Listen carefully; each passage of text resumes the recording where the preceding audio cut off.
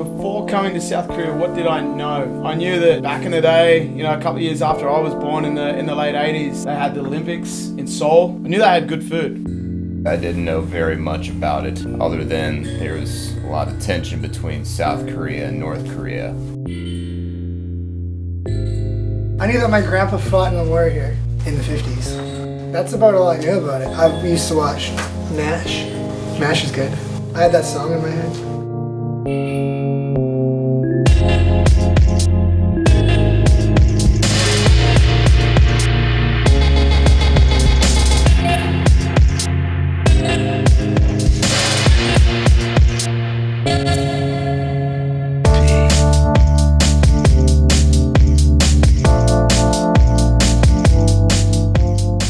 Seoul's busy, man. Uh, massive city. It's spread between two sides of the river. The main part, the main CBD of Seoul, it's dense, uh, super densely populated. There's like massive high rises, 15, 20 stories. Looks like a grid system, you know? It's, it's just crazy. I don't know if intimidating is the right word to say for a city, but it kind of is. Everybody says New York is the city that doesn't sleep, but Seoul, I don't know if they know what sleeping's all about. Like that city goes on non-stop.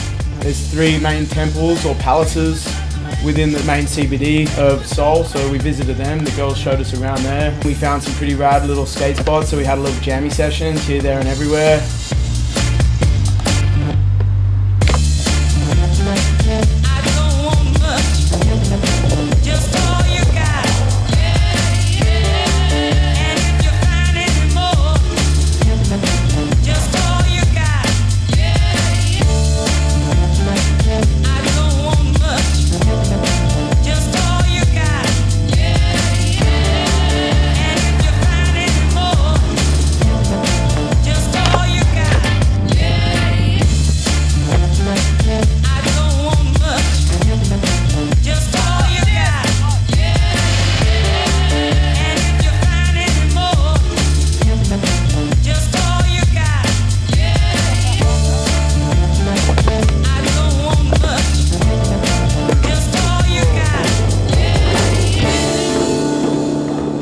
Yeah, later that night, spent the better part of an evening walking around, crushing beers, just scoping out stuff, talking about how cool it'd be to skate it. I mean, we're just kind of in the midst of all these hills and just this big urban area. The next day, we decided to actually go and skate that, and it turns out a lot of it was a little more difficult to skate than we had planned. I mean, I always knew Yatesy was like a madman, but this trip definitely opened my eyes to how actually insane he is on roads. And watching him drop into that hill that was super steep with all the drugged out chicks around it, that was pretty ballsy. And he was going for it. I was thoroughly impressed by his skateboard.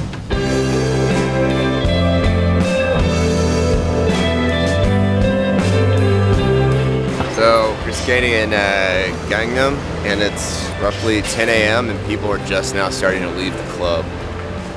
They really know how to do it up here.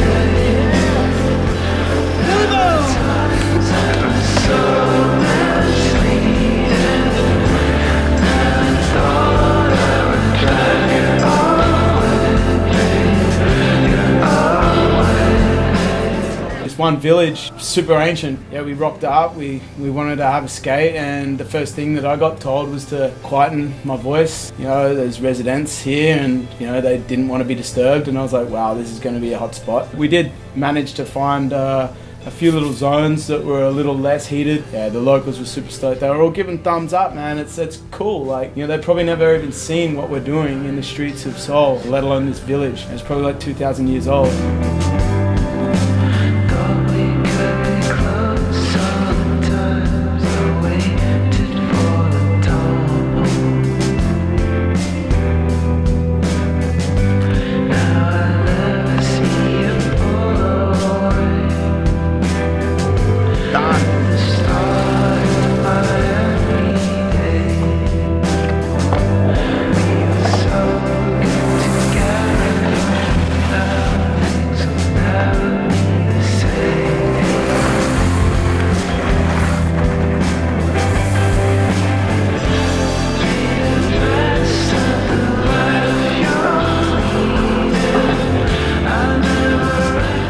Got to meet up with some of the, the locals in Seoul and go check out a couple of their, their hills in the area, which are actually pretty rad. They kind of had a good combination of a kind of technical sort of road and then the bombing kind of hill with corners. So we got to mash with a bunch of locals, kind of do some pack run.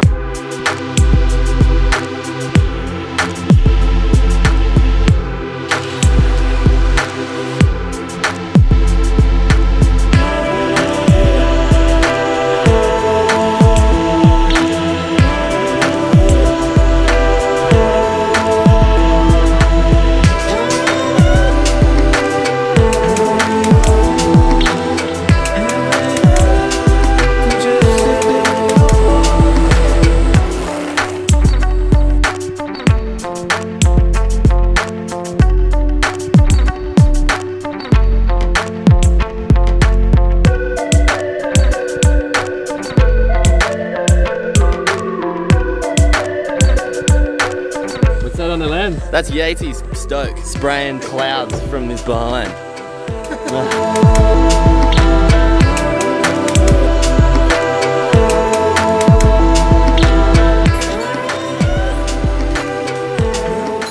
We're not from here. Pretty much every time we'd go out for a proper meal, it was always barbecue where you had a grill in the middle of the table and they just bring out copious amounts of stuff that you just throw on there. When we weren't having barbecue, we'd stop by a 7-Eleven as often as we could. So collectively, we've creatively named these the Triangle, and it has pretty much facilitated 80% of the team's diet over the last four weeks. Ingeniously packaged.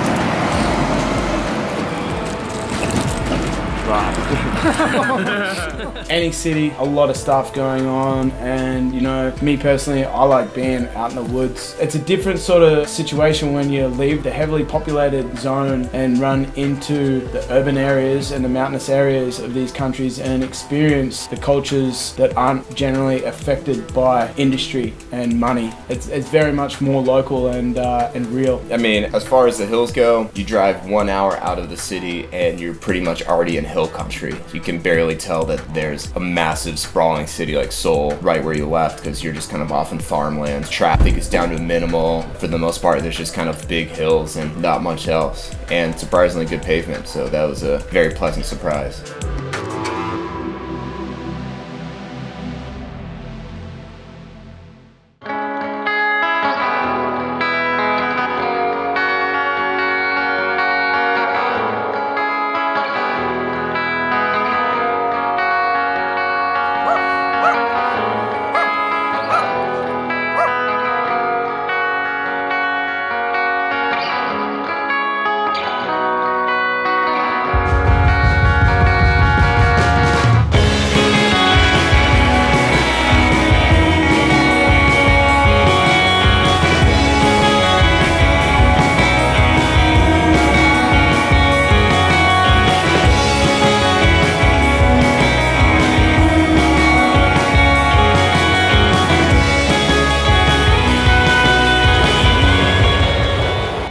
First hill we encountered was a beautiful kind of layout for a road. After kind of skating down, we started looking around the hillside and we realized there's gun turrets kind of built into the hillside everywhere. So you just kind of see these weird little features and kind of influences on all this stuff that we've been skating that just kind of shows that there's been some sort of major conflict in the past and might still be present, which is a very sort of harsh reminder of some of the issues that this country is dealing with.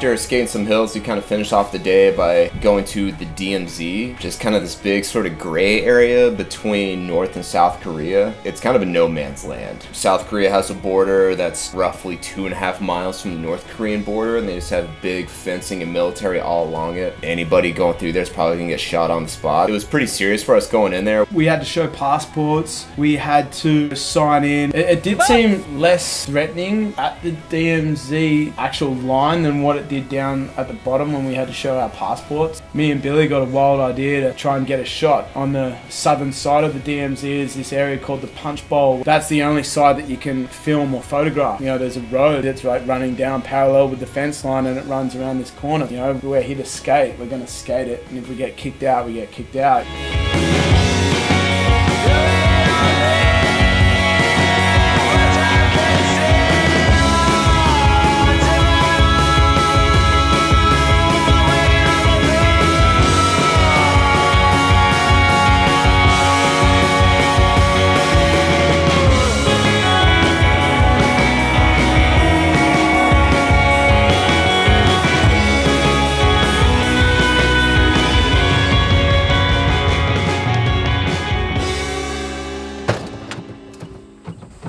Hit it. We went to a spot deep in this hillside where the North Koreans were building a big underground tunnel to basically invade South Korea. We actually got to ride on a little train down there as well. We were 360 meters in the mountain and 146 meters under the DMZ itself. It's pretty interesting that you can see some of the history between the conflict of these two countries, especially when this conflict is still very much so alive and well. And we can go kind of see where one country attempted to invade another and failed. Honestly, they're probably trying the same thing right now, just a different location. We've been driving through some pretty epic national parks up here on the northeastern part of South Korea, and you know the first one that we actually had the privilege of driving up, it was just like littered with like color. And we get to the peak, and you know it looks wet, and you know we're sort of unsure on what to do. The road looks kind of patchy, wet and dry, and you know it's like, ah, this could be good. Well, I'm just gonna sit this one out. And yeah, Yates, you know, he's already got his helmet on, jumping out the car. We're at the top of a mountain in the middle of a national park. There's heaps of tourists. Don't even know what the road's like. It's pretty long, pretty windy. It might be wet. Chuck this bad boy on for some goodness. And he takes off down the hill and just rallies down this really gnarly kind of just epic mountain bomb where he's you know he's passing cars there's big tour buses parked on the side there's cracks there's big hairpins space pavement bad space pavement and he just kind of mashes through it all got to the bottom was like man that was fun That was fucking sick. Wow, does it keep going down? My legs are cooked. Should we go back to the top and do it again? Who wants to skate? It potentially could have been wet on my first run down. I didn't even know, but it was dry. So it was like a personal goal for me to be able to get down in one piece, and then to share that experience with, with a buddy of mine, or you know Billy. The next run down was was just you know epic.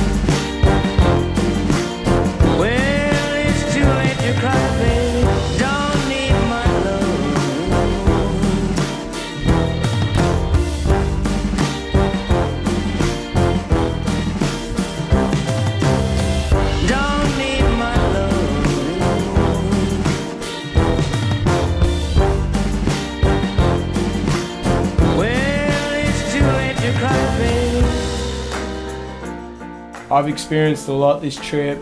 I've achieved a lot this trip. I feel that this is this has been the highlight of my year. There's been some rad roads. It's been some good times with some good people. It, it's always tough leaving a trip like this, especially I've made really good friends with guys like 1JD, the whole kind of Mind Board Shop crew. They've been very welcoming for us and just super helpful as far as showing us around the country and just being very awesome hosts. So big thanks to, to all y'all. Sick!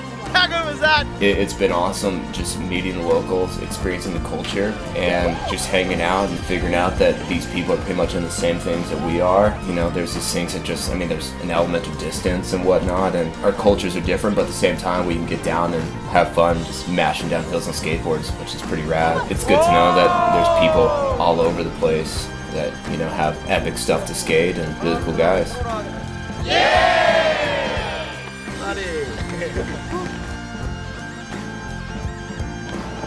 What do you think over there? Not much. Not even that little We thing? should continue to skate and explore.